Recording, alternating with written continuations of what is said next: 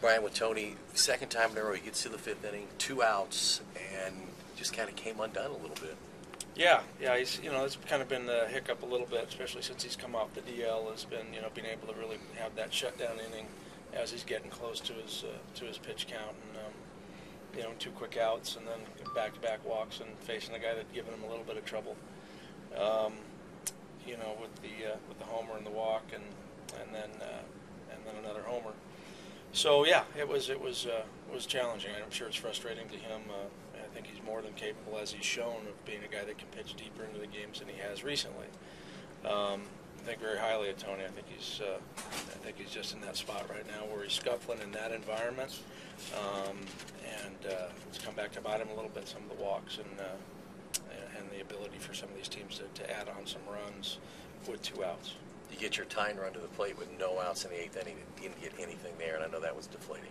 Yeah, you know, it was it was tough. They, they you know they did some things. They, they got three double play balls when they needed them. You know, we did, we had until that you know until that situation there, that bases loaded out, no out situation. We had some guys on base, but we weren't really putting the heat on uh, Danny and um, and then we got into that situation, and, and League ended up throwing what he does is throwing that good sinker that looks like a strike, and then it bores in you, and it bores in on you, and got the check swing double play, and then you know the next out, and um, yeah, I mean that was an opportunity for sure. It was an opportunity missed, but um, you know we need to have more opportunities than than one or two a game to really blow something open or get ourselves back in the game. You know we, did, we didn't put enough heat on Haren and the rest of the bullpen to really uh, get ourselves back in that ball game. This might be overlooked a little bit by some, but Logan Ondrusek has really come into his own his last four or five times out, and again tonight.